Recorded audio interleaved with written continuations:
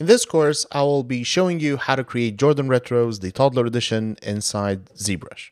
I usually start with a sphere uh, whenever I'm doing anything uh, organic. Uh, it gives, just gives me the option to create uh, volume easier. Now here, what I'm trying to do is I'm trying to create something uh, which is called in the industry a wooden mold that a shoe is usually created on top.